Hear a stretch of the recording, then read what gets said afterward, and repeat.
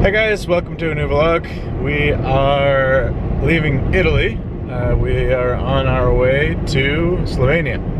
We are going to the capital, Ljubljana. I'm not exactly sure how to pronounce it in English, something like that. Um, and uh, we will be attending the Polyglot Conference there. I want to say right away that, uh, well, what is a polyglot? Maybe some people don't know what that is. Uh, a polyglot uh, some people argue about what the definition of uh, polyglot is, but in my mind it's just somebody who uh, speaks more than two languages maybe. Some people say more than one foreign language, uh, so more than one language that's not their native language. Uh, it doesn't really matter. Uh, the main idea of this conference is just that these people, people that go to the conference, they love to, to study languages, to, to learn new languages, and of course to use them. Uh, I consider myself one of those people. Uh, I speak um, five or six languages, more or less. I mean, um, of course, all of them are on different levels. I, my native language is English. Then I have uh, French. Now my, my Russian is much better than my French. Um, and then uh, Brazilian Portuguese. I love Brazilian Portuguese. And then, yeah, a bit of Spanish. We traveled for about seven months in Spanish-speaking countries. And uh, yeah, knowing Portuguese, it's, it's not too hard to, to understand and communicate in Spanish although I can't um, write uh, write books in Spanish, of course. And then uh, Ukrainian. I lived for Ukraine in two year uh, for two years, so uh, I I can uh, understand it quite well, uh, but I, I, haven't spoken it for quite some time. So yeah, that's probably my weakest language. I'd love to learn more. Recently, I haven't studied that much, um, but I do want to get back to it. I definitely do. If we ever live in other countries, I definitely always want to uh, study the language, uh, the local language, and uh, we definitely plan to do that. Uh, anybody can come to this conference. There's a few actually, just just so you know, uh, for future reference. There's the Polyglot Conference that's been happening, I think, for five or six years now uh, in different countries every year. Last year it was in Iceland. And uh, there's the Polyglot Gathering that I also went to.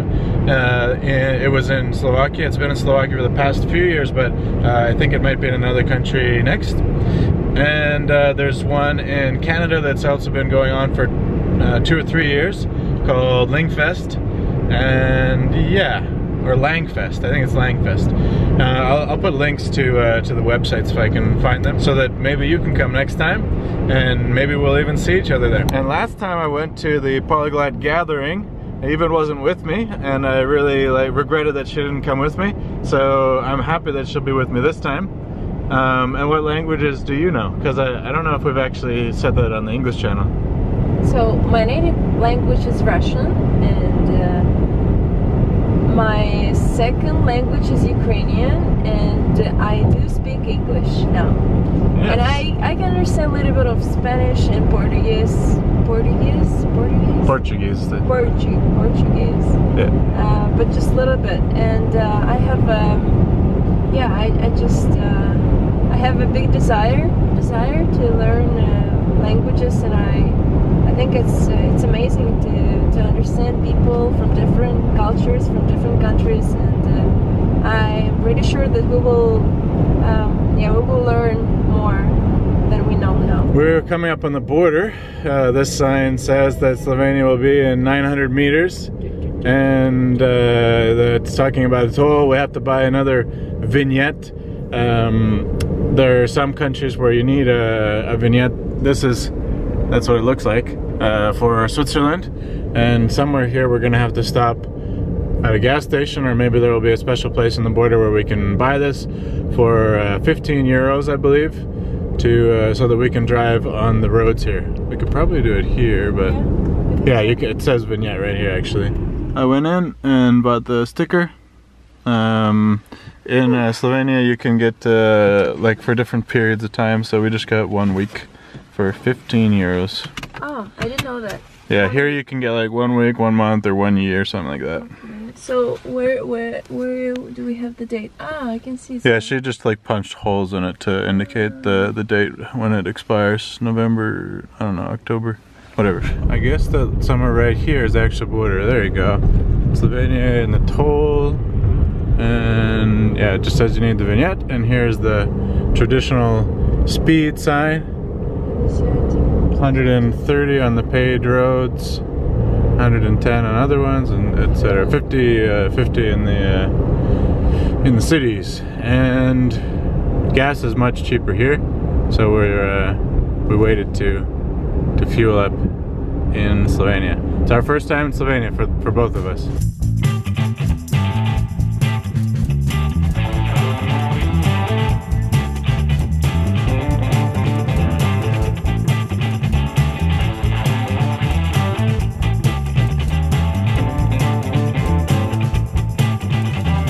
Tonight we will be sleeping just outside of the capital, Ljubljana, and in a hotel called Ambient Hotel. Uh, there's a sign, Ambient Hotel to Turn the right. right. Turn right. I think it's somewhere here. It says like to the end. Oh, okay. There it is at the end. That's actually, I can see it. Yeah. Ambient. We can see a typical Slovenian. Yeah, nice little little houses Oh yeah, it's all around. beautiful. You have reached your destination. We're here. Ooh, nice parking spot. There it is, Ambient Hotel. There we go. I was looking for the numbers on the doors, but they're not on the doors, they're on the floor. There you go. 205. Here we are. Man, uh, first impressions of Slovenia, by the way, beautiful. Beautiful. So green, the roads are really nice. Yeah, and lots of lots of space, beautiful mountains.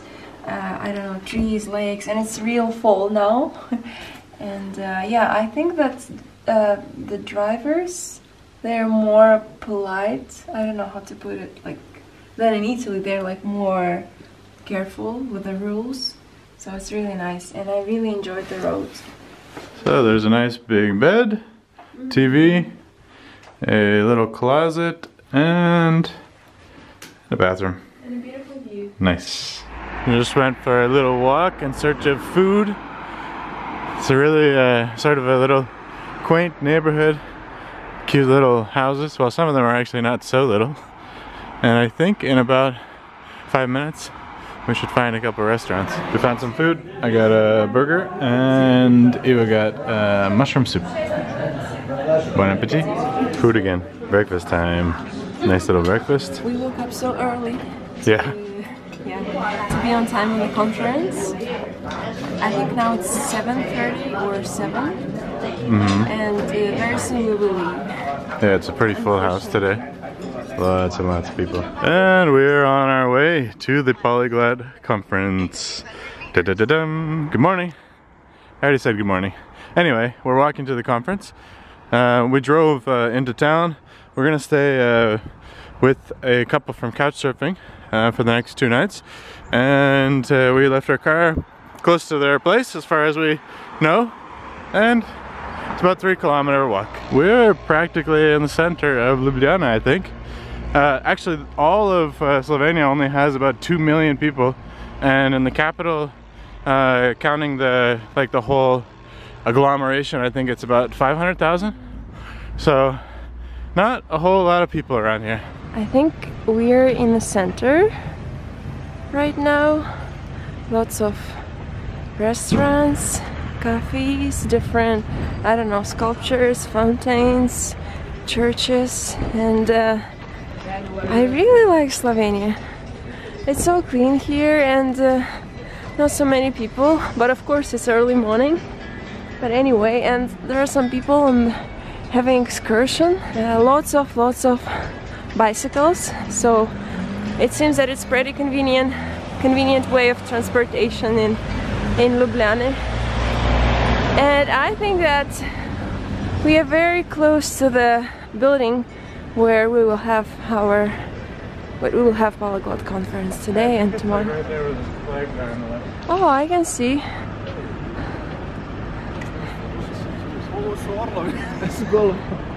Yeah, it's beautiful here. Do you like? I Do you like like it here? I like it. Yeah, my first impression is really, really nice. And water. and it's weird because like one day ago we were on the coast in Italy and it was so hot.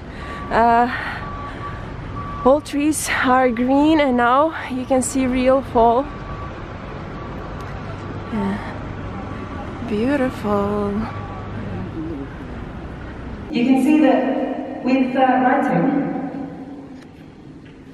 it can help all of these skills because you know it has like the least influence on listening, but you can do some crossover, like try writing what you hear, you know.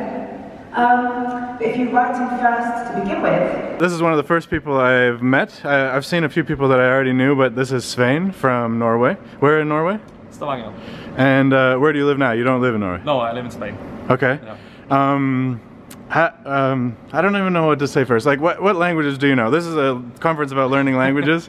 That's a hard question, I know. It, it's always a hard question. I, I think if we say languages that I'm comfortable with, uh, I'd say German and Spanish, uh, and a touch of Dutch, but not really conversational. Uh huh. Yeah. Okay. Um, and uh, is, there, is there any language that you're studying now?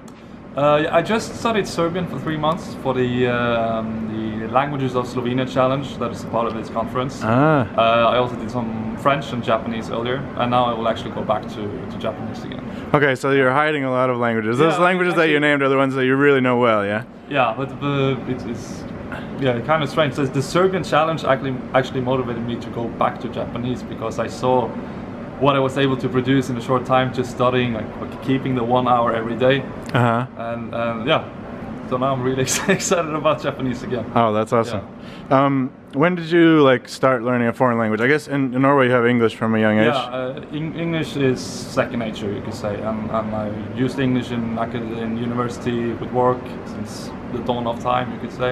Um, I tried studying German half a year in eighth grade. I, I learned how to sing uh, Mein Hut, die hat drei Ecken and, and the alphabet, and that was it. So I thought languages doesn't make any sense. It, it takes forever. And then I started. I tried again three years ago.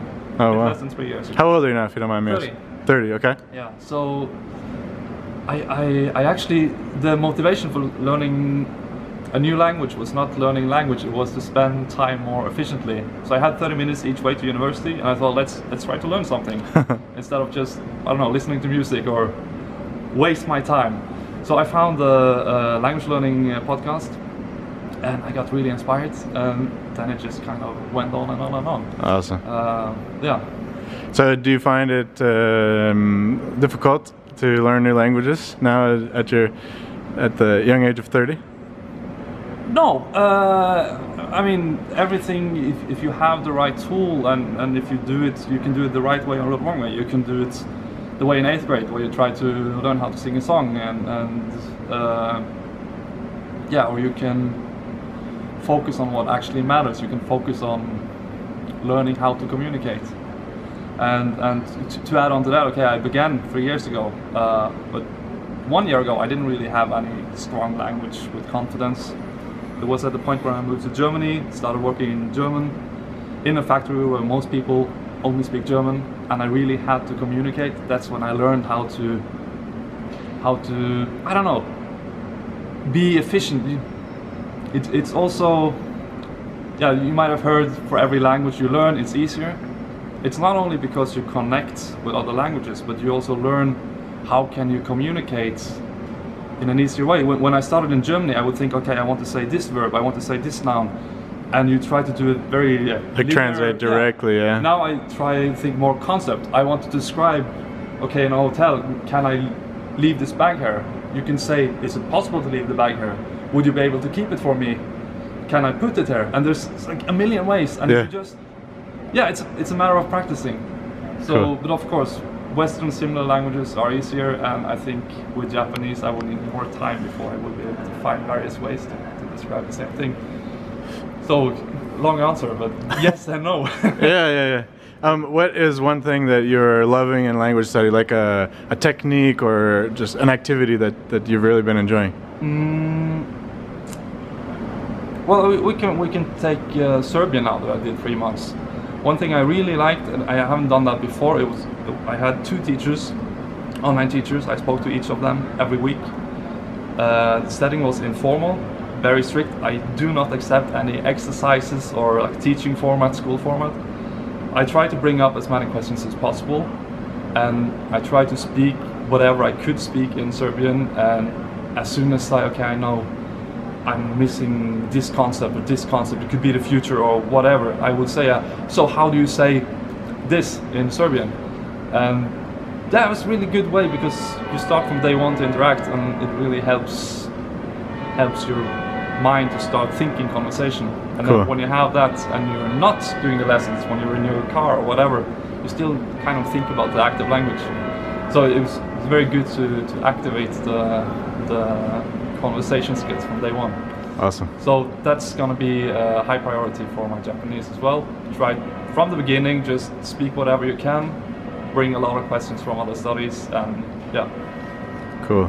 Thanks, Svein. Repetition, it, that's to say you're, you've got flashcards, but you should be actually trying to recall. So you shouldn't just be rereading or re-listening to the text. Anita is 66.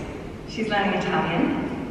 But at her stage in life, she's finding it difficult to remember words in her first language. Her words, not mine. We have visited 33 countries, and uh, that's how we go now. How. For Italian, who do you think my favorite Italian singer is? Anybody? Now, you remember, I'm learning Italian a long time ago. Ines Ramazzotti. Ramazzotti. Lucio Battisti.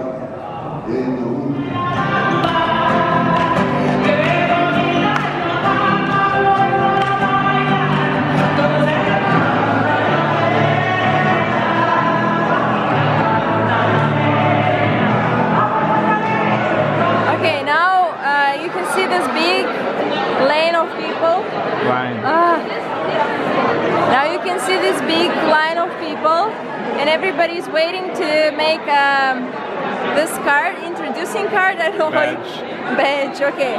So Jon, and then you can put different stickers with a flag.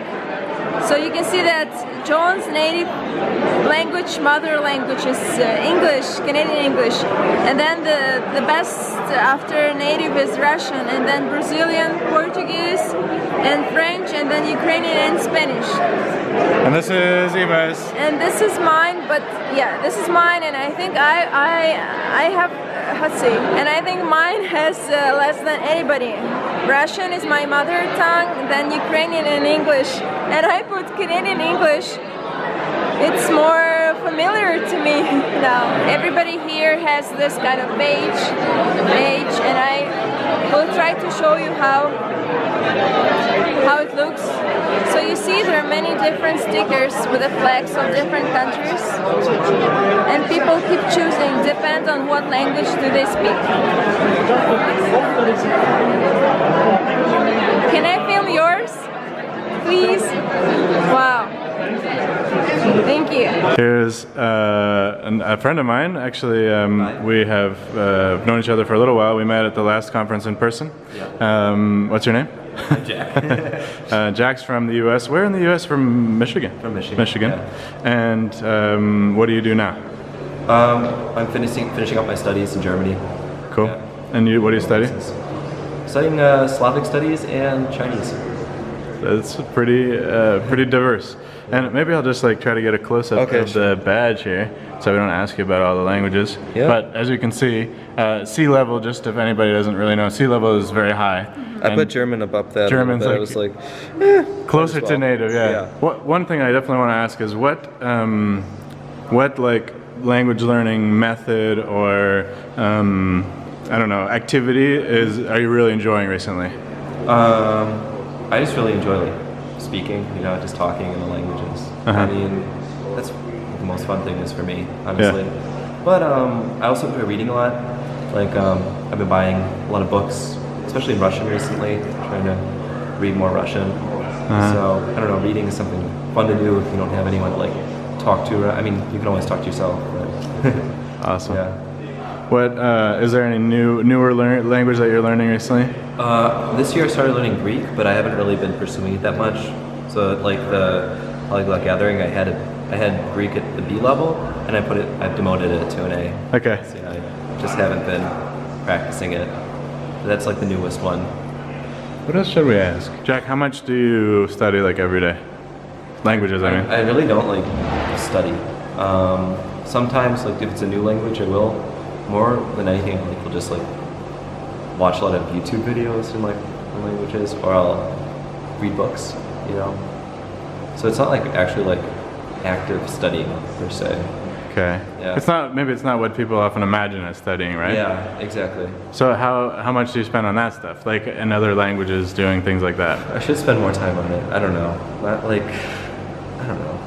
Can't even say. It's hard to say. Like if I had more time, like for example, on the way here, I've read like a lot.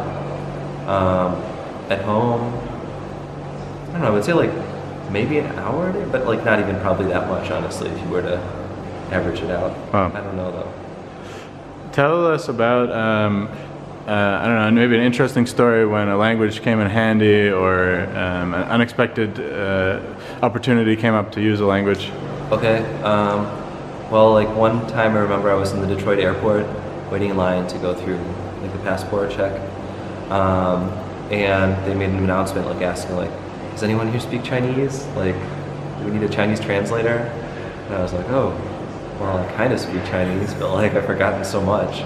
So I like was quiet for a second, and like they couldn't find anyone, so I was like, "Oh, okay, I'll go and I'll try."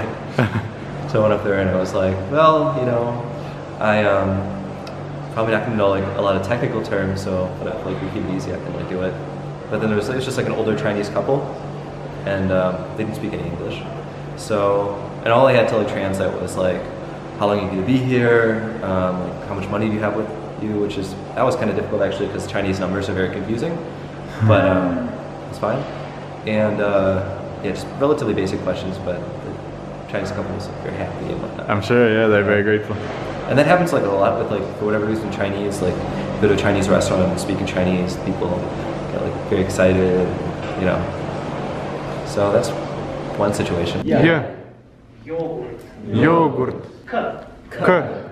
Kiwi. Kiwi. L. L. Limona. Limona. M. M. Mama. Mama. N. N. Nos. Nos. O. O.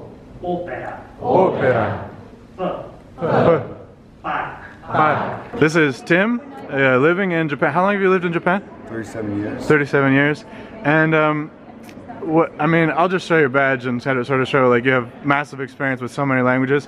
But uh, what is um, a language like m- learning method or activity that you've really been enjoying recently? Um, okay, while I was doing yard work, I used uh, 50languages.com. They, uh, you know, have a phrase in one language and give it to another language, so you can choose, you know, the origin, and the target. And so I use Slovenian as a target language for about eight other Slavic languages, from Russian, Ukrainian, Polish, and then also I switched it around and so I hit about yeah it was eight or nine uh, Slavic languages in comparison with Slovene. So uh, I enjoyed it because it was really screwing with my head, and but I, I know that it would mix me up uh, when I actually wanted to use it actively. But it, it really increased my passive knowledge. So like when I listen to uh, SBS radio, whether it be Slovak, Slovene, Ukrainian, uh, Russian, whatever, then my comprehension is very high. Yeah. And so, um, yeah, I enjoy that type of passive activity, and because I always know from you know many years of experience that just make, takes time to make it active, and if you have a passive understanding of a language which hits you know 60, 70, or 80 percent, then you maybe getting into it, uh, using it daily for a couple of months, and you start to get you know quite good at the language. About uh, about how much time per day do you spend on language learning activities? Well, well, passive and active, mainly passive because I, like if I'm driving to university, so it's about a 15 minute drive. Um, and I always have some language playing. I'm usually using the language that I'm going to use next. So I was mainly listening to uh, Slovene. Cool. Um, and then when I have some time, I might sit down and, and you know go through like textbook and grammar. But that's that that's the hardest for me to concentrate. You know, my mind starts going elsewhere. So most of the time it's just when you're doing something else, passive, passive listening. Yeah, but sometimes I, I make it passive. Let's say that I'm listening to it doing yard work for seven or eight hours. Mm-hmm. And we have a big yard, big orchard. And so maybe 30% of that will be quite active as I'll repeat it. If I've heard the story again, I'll think about what they're going to say next. And then I'll notice the differences between the two, between two languages like that, like mostly the Slavic languages. And, and then I like try to jump ahead and, and you know and sometimes shadow it and things like that. Cool. So yeah, it's a, it's a mix. And sometimes I space out thinking about something else, even though it's going into my ears. I, I don't think that's very productive at that time. It's good for the melody if it's your first. Uh, if you don't know the language that well, but you're just trying to get used to the prosody, so it makes it easier, then yeah, that can be enjoyable. It's just like the background music, you know. Cool. Is, can you think of any uh, like a an unexpected opportunity to, to use a language, or a time maybe where uh, a funny situation where you understood somebody and they didn't expect that you'd understand them or something Oh, like that? happens all the time. though. Yeah. Yeah, yeah, because I'm in Asia and I don't look so Asian. So, Yeah. Yeah, I catch people talking about me all the time. Yeah. Uh, well, just just today, um, when I was getting uh, breakfast uh, over here, uh, two Japanese girls came in. They're studying. Wait, we afterwards had a long conversation. Uh, one studying music, the other was studying German literature in in in, um, in Vienna. Yeah. And uh, so they were talking in Japanese, and then um, I just sort of answered the question that one had asked the other, and she didn't know in Japanese, and it was like, you know, so then, and and I mean, Japanese is the language that I've spoken most hours of my life, so I slip into it quite naturally, and so you know, the Japanese are always surprised, so I have to explain to them so that you know, I said, look, you know. I, as I said, I've been speaking Japanese longer than you have, but they're native speakers, and I make mistakes. Okay, there's difference. Yes, yeah, yeah. But still, um, you know, they're always surprised at, at, at the level um, because Naturally. it takes, yeah, Cool. And you're a professor in Japan, yeah? yeah, yeah. What do you teach? Uh, cross-cultural management is my field, but I have international accounting and, and economics, and uh, for MBA I teach uh, well, cross-cultural management and communication, um, and basically it's all taught in Japanese, uh, except in seminars I'll use different languages.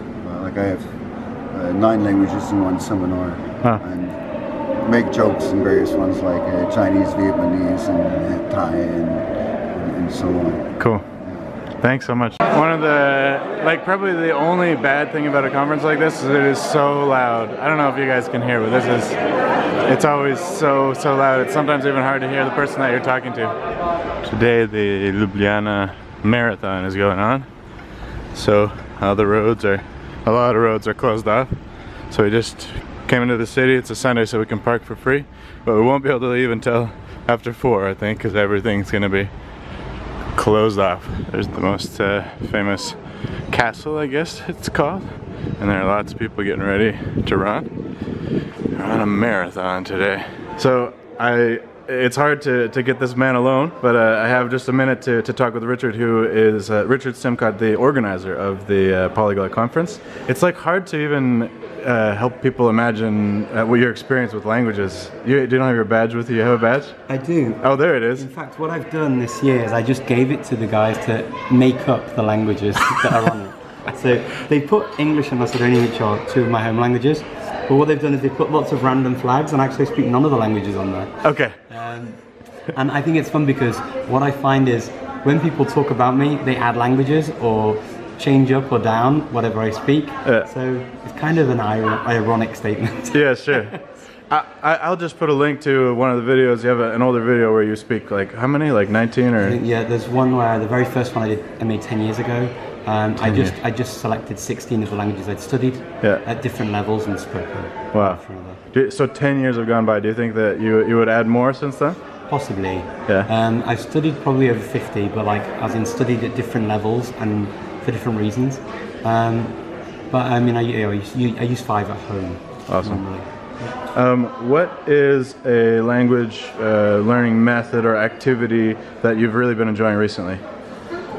Um, recently, I've been full on with the Polyglot conference. Yes. I've got to be honest. So Yeah. any free time I've had after work has been dedicated to organising this event. Uh-huh. But um, what I like is learning bits of languages to go and communicate. So I was trying to learn Romani.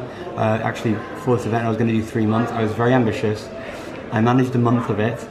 Uh, and then the last two months before this event, I was just full on Yeah. organisation. I bet, yeah. Um, but I love when I do that and I go and speak to people who use the language, the reactions I get, and that's why I do it, what motivates me, and I love it. That's one question I want to ask. Maybe you can think of uh, an um, an unexpected opportunity that you had to use a language, or, or a time when people were surprised that you knew their language. Any any story that comes to mind?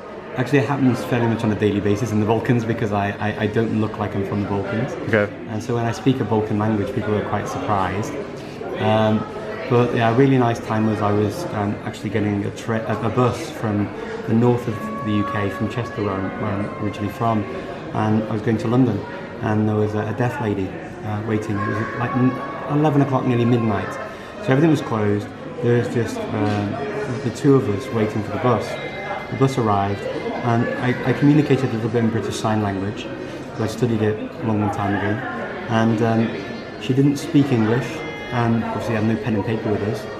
And so when the bus driver arrived, I was able to translate for them. Cool. And that was really nice. Yeah. And it, that gave me a warm, fuzzy feeling inside. So I understand you've been really busy with the conference recently, but um, if you can imagine a more calm period in your life, um, how much time would you usually spend a day doing language learning activities? It's interesting actually because the question comes up every now and again, you know, about how much time, and I don't really think of the time because I think it's like if you love something that much, you know, I'm, you've got people who want to learn a language or two because they need it for whatever reason, or they want to learn it, or they like that culture. Whereas I'm kind of more on this. I just love all languages all the time, so I don't really count the time because it's it's enjoyment. It's like it's like saying to somebody how much how many times do you snack or or it's sometimes it's hard to, to say and quantify exactly when you've done things hmm. or when you've watched bits of TV or when you've heard certain things or you ask them to document it some people maybe can but for a lot of people you know how many football matches do you watch a week or how many and it's not always easy to, to say okay exactly this number of minutes or hours I just keep doing it and I'm always thinking about language And uh, I'm sure a lot of people would be curious. Uh, what does a person with so many that knows so many languages? What, what's your job? So I work for a social media management agency called The Social Element, and I work as their languages director. So what we do is um, give advice and help uh, international clients uh, carry out their marketing strategies, engagement strategies with uh, the, the people who use them, buy their products uh, over the internet, so social media. And I would help on, from my side with the international linguistic element of that. So uh, doing that over diverse markets, linguistically and culturally. Because next year the Polyglot Conference is going to be held somewhere very special. And the location of next year's Polyglot Conference is going to be a very worthy successor to the places that we've been before. Can we lower the lights, please? Because the Polyglot Conference 2019 is going to be held on the 18th to the 20th, 2019. We have Polyglot Conference 2019 will be held Where the sun goes down, the sun must rise. So we will see you in. Be careful with this one. you don't want to mispronounce it. I'll let you do it. Fukuoka.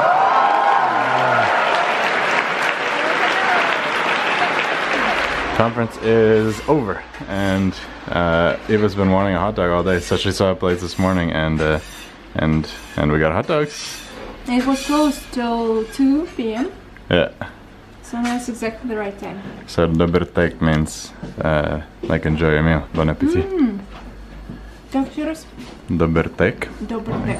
We were hoping to go uh, to stay another night in Ljubljana to uh, go to Italy tomorrow, but uh, it turns out that the um, the Russian embassy doesn't work tomorrow. So uh, we're going. Well, the Russian consulate actually doesn't work tomorrow, so we're going to Italy today. Um, we're gonna stop somewhere along the way, probably just sleep in the car and uh, pick up my visa tomorrow. and that's it. I'll, we'll end this vlog with a, a brief summary of uh, our experience at the Polyglot Conference. Uh, but for now, um, bye bye. I guess I really don't have that much to add about the, the conference in general, but I gotta say it was a good experience. Overall, uh, first and foremost, I guess, about Slovenia and Ljubljana. Uh, we were only there for, I guess, three nights, but still, um, really impressed. You know, such a small country with two million people. Um, clean, uh, well kept, and uh, one thing that I liked is uh, I asked um, uh, the people that we stayed with, we stayed with the family uh, on couch surfing. We didn't show them, uh, but we had a, a, great time talking with them. They have six kids and they live in a really nice home. And um, I asked if people leave uh, Slovenia a lot, you know, if, uh, like, what's the general feeling? Uh, are people trying to, to move to other countries because it's part of the EU? And if they want to, they could move to any country in the EU and just live and work there. And uh, our, our host said that most people seem happy to stay. Of course, some people leave, but some of them then come back, and uh, and I think that's uh, that's a really good sign when people are happy to stay where they're at. Uh, I mean that the conditions are good and life's good. So, uh, but the conference uh, was great. I mean, I've seen so many talks, uh, both in person and online. I'm kind of like an obsessive person, so when I got into learning languages, I just like studied everything I possibly could. So the talks are a little bit less interesting to me, but the most interesting thing is just to be able to meet so many people that are so passionate about languages in one place uh, and exchange ideas and um, and stories, especially you know who's who's done what, where. You know, a lot of the people uh, at at this conference, for example, are living in other countries. So I would say even the people like from Europe, a lot of them are living in other countries, you know, and, and speaking and learning languages of those countries. And uh, to me, that's really interesting. So it's really interesting to sort of bounce ideas uh, back and forth. And uh, overall, it's great. I think anytime that um, at least that I'm near a place where a conference like this is going to be happening, then I will probably go.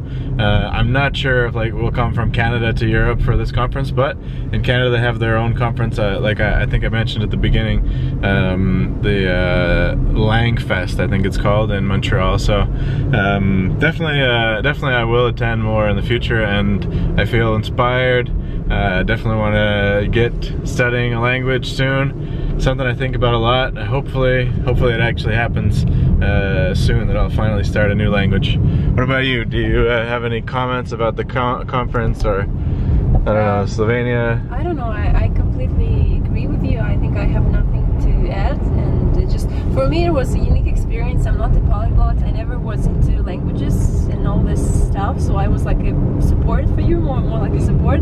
But um, it's almost impossible not to be inspired when you see so many different people who speak different languages who are so curious and interested about uh, other others cultures and it's amazing because like it seems there's no borders inside their minds inside their heads and I really like it. So they don't have those stereotypes about countries and they, they don't follow those political stuff on the TV they just they just try to communicate as much as possible with different people from different cultures and uh, yeah I really admire it and uh, I hope to learn more languages in the future. And I really really like Slovenia and I uh, enjoyed the, the capital Ljubljana I think it's a very special and unique capital